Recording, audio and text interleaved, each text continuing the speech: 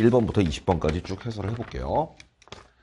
1번은 너무 쉬웠죠. 합력이 0인 걸 고르랬는데 합력이 0인 건 크기는 같고 방향이 반대인 벡터 두 개를 찾으란 얘기니까 답은 1번이 되겠어요. 2번 각속도가 일정한데 회전 반경은 Q가 크기 때문에 선속력은 Q가 더 크겠죠. 그렇죠? Q가 크다. B는 맞고요. P의 속력은 뭐 등속원 운동이니까 일정하지 않겠습니까? Q의 구심 가속도 방향은 운동 방향과 수직이 되겠죠. 답은 3번. 각도도 똑같고 초기 속도가 2대 1이니까 결국 연직 방향의 초속도가 2대 1이죠. 그러면 어차피 최고점 도달 시간의 두 배가 수평면 도달 시간이니까 어차피 대칭이잖아요.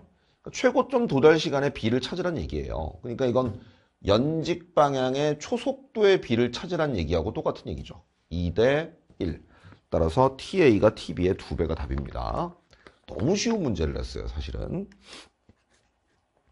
다음은 텅 빈 우주 공간의 우주선에서 일어나는 현상에 대한 설명이다. 어찌했든 간에 이게 지표면에서 던진 것처럼 포물선 운동을 하게 하려면 이 방향의 관성력이 필요한 거니까 가속도 방향이 위쪽이어야 가능한 거죠. 그래서 결과적으로는 등가속 운동을 해야 됩니다. 중력 가속도 G가 일정한 것처럼.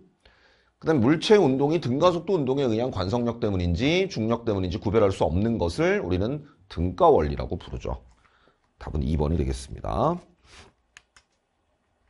5번 그림과 같이 저항 A와 B를 전압이 V인 전원에 연결하여 회로를 구성하였다. A의 저항값은 R이고 전류의 세기는 B에서가 A에서의 3배래요.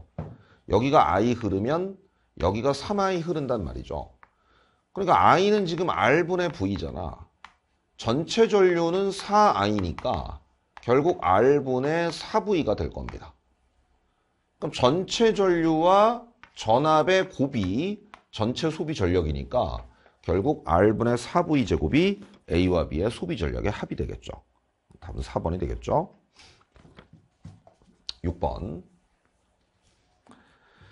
그림과 같이 위성이 행성을 한 초점으로 하고 면적이 S0인 타원 궤도를 따라 근데 어쨌든 간에 시간분의 면적 변화율은 일정하기 때문에 그래프가 직선이 될 수밖에 없어요. 그러니까 이제 면적 속도 일정 법칙을 따른다면 시간당 면적 변화 이게 일정해야 되거든. 그러니까 델타 t분의 델타 s가 그러니까 다시 말하면 이게 그 그래프에서는 기울기인데 이게 일정할 수밖에 없는 거지. 그러니까 답은 뭐 여러, 여러 가지 뭐 예시들을 들었습니다만 1번이 될 거예요. 7번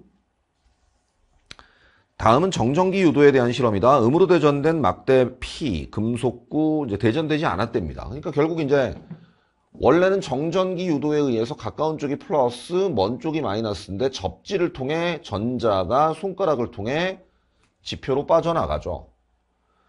그 다음에 이 이제 플러스로 대전된 이 금속구를 대전되지 않은 금속구 B에 가져가면 역시 정전기 유도. 어, 절연체에 가, 져간다 하더라도 유전 분극이 일어나기 때문에 결국 둘 다 인력이 작용합니다. 그래서 전자는 손가락으로 이동, 기억은 맞고요. 니은은 밀어낸다가 아니라 당긴다가 되겠죠.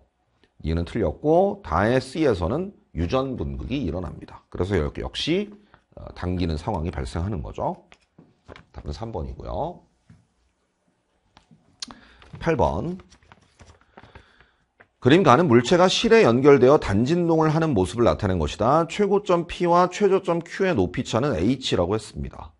여기가 당연히 최저점이 될 것이고 여기가 최고점이 될 거예요. 이게 바로 4분의 주기가 되겠죠. 단진자 주기로는 하나, 둘, 셋, 넷. 그러니까 최고점, 최저점 사이를 네 번 왔다 갔다 해야 결국 한 주기가 구성이 되는 거죠. 주기는 T0라고 했으니까 틀렸고요. 그 다음에 결국에는 EE0죠. EE0. 여기 나와 있는 건 중력 포텐셜 에너지인데 중력 포텐셜 에너지 차이 EE0가 mgH가 되는 겁니다. 그 다음에 이제 물체 역학적 에너지는 이제 속도가 빵이 되는 중력 포텐셜 에너지가 최대가 됐을 때 속도가 빵이거든요. 요때 중력 포텐셜 에너지가 역학적 에너지가 되겠지. 니은 맞고요. Q점에서의 물체의 속력을 구하라고 했는데 Q, Q점에서의 물체의 속력은 결국에는 루트 2GH가 되겠지. mgh 이퀄 2분의 1 mv 제곱 적용하면 어차피 최고점에서는 속력이 빵인 상태에서 내려오기 때문에 V는 루트 2GH가 맞습니다. 답은 4번이죠. 좀 간단하게 냈어요.